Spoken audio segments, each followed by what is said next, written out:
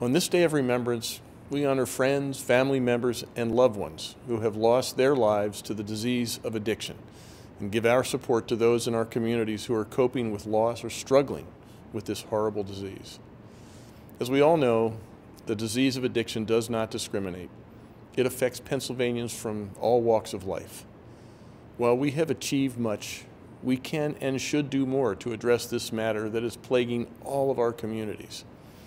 We owe it to those who've lost their battle to the disease of addiction to make sure that we do everything in our power to acknowledge substance use disorder as an illness, not a flaw, and help those who are struggling with it.